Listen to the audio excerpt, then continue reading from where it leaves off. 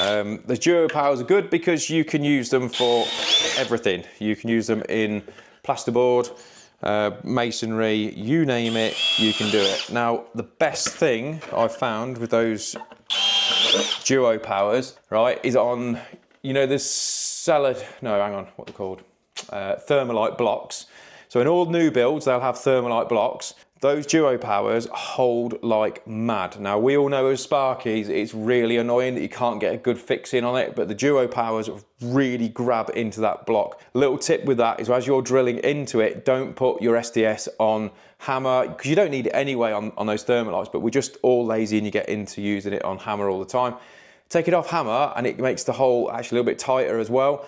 Hammer that in on the six mil and I tell you now, it is absolute game changer. Trust me, all right? Believe, believe in me, and then leave it in your comments below when you go, actually, Mike, yeah, you were right.